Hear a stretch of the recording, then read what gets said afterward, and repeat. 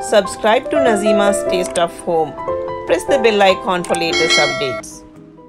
Today's recipe is most popular and special dish from Sri Lanka, sweet breadfruit chips.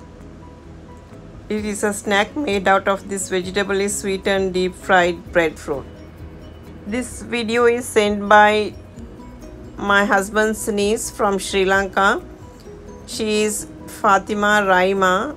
She is 11 years old and she is doing it all by herself. She loves all my recipes and keen interested in trying new recipes and watching YouTube videos and with the help of her mom she has tried many dishes. Cooking can be a pleasure for children of all ages.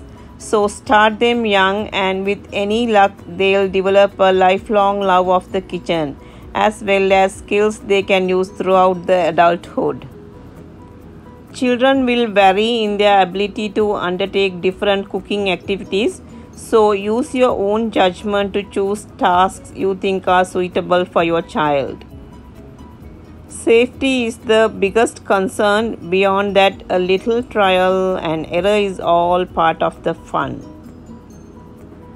Anyway, even much older children should have some supervision to avoid accidents in the kitchen. So keep an eye while they are cooking or whatever they are doing in the kitchen. Hope you enjoyed this video.